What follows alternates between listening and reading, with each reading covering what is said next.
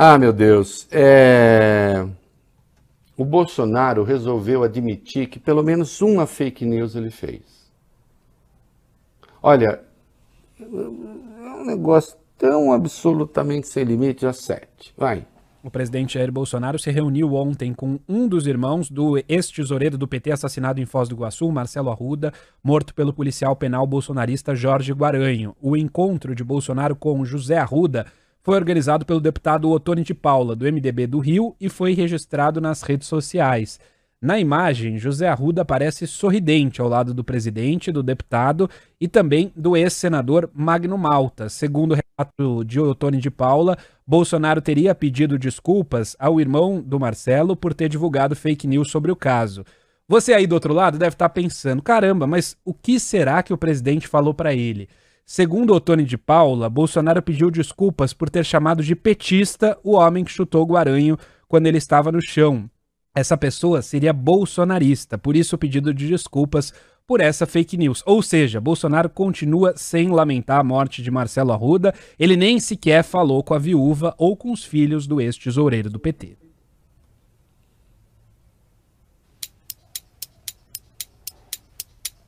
Aí eu chamo isso de nojento, de asqueroso. ah, mas que palavra de. Olha, olha, recebeu o irmão do outro lá, recebeu o irmão do outro, porque. Preste atenção nisso aqui. Ele recebeu o irmão do assassinado porque esse irmão é um dos dois irmãos bolsonaristas. Sem ter falado com a viúva, sem ter solidarizado, sem ter falado com o filho adulto do Marcelo, nada. Então, assim, eu vou recebê-lo porque ele é bolsonarista. E vou pedir desculpas a ele porque eu me enganei. Era um bolsonarista a chutar a cara do Guaranho quando ele estava no chão, que aliás agora já é réu. Era um bolsonarista que chutou. E eu falei que não era, que era um petista. Não, era bolsonarista mesmo. Puxa, desculpa, é um dos nossos. Vocês repararam que tudo vira uma coisa dos nossos? Seja para se desculpar, seja para encontrar, seja para não sei o quê, é um problema de bolsonaristas.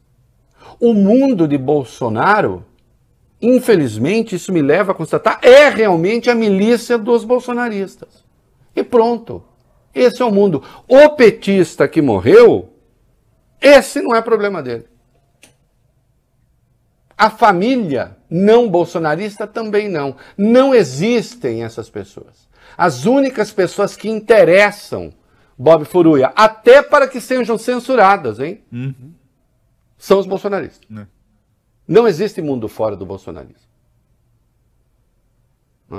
Esse é o presidente. Um presidente da República governa o Brasil inteiro, inclusive aqueles que não votaram nele. Bolsonaro só pensa na milícia que votou nele, até quando é para criticá-la. Isso é um desastre moral que tem que ter fim político, ideológico, econômico, civilizacional. Isso aí.